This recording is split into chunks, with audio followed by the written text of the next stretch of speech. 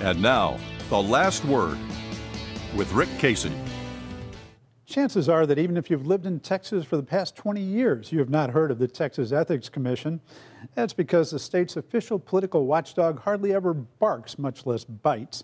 The commission was set up in the early 1990s in the wake of one of those unpleasantnesses in which the House Speaker was indicted. Given that the commission was established by politicians to police politicians, it was born with much fanfare and no bicuspids.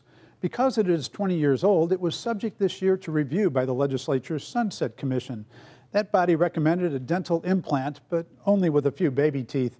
How toothless is the Ethics Commission? Well, let me give you a few examples. A state official, Bill Ceverha, reported to the commission that he had received a gift of, quote, a check. The Ethics Commission ruled that he had complied with the law simply by reporting the receipt of the check from Houston home builder and mega donor Bob Perry the state official was not required to divulge the amount of the check. Well, that made sense to me as long as he framed the uncashed check and hung it on his wall, but he didn't. The check turned out to be $50,000, something Ceverha eventually disclosed on his own. An outside watchdog group, Texans for Public Justice, discovered that the Ethics Commission had made its ruling in a secret meeting. A commission lawyer actually compounded the comedy by announcing that by law, the decision could not be disclosed. Example number two Texas law is clear that office holders can't use campaign donations for their personal benefit.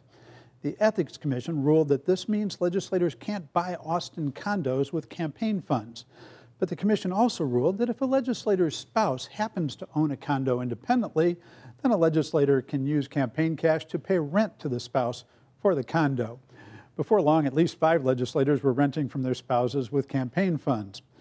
Example number three a Texas Ethics Commission, quote, campaign finance guide instructs candidates and office holders that the law prohibits them from using campaign funds to hire spouses or dependent children. The commission found Fort Bend County Judge Bob Hebert guilty of paying his wife $6,200 for bookkeeping services because of what it called, quote, the seriousness of the violations, unquote, the Commission wrote that the violation warranted a, quote, sanction necessary to deter future violations. The sanction, $100. And the county judge was allowed to pay it with, you guessed it, campaign funds.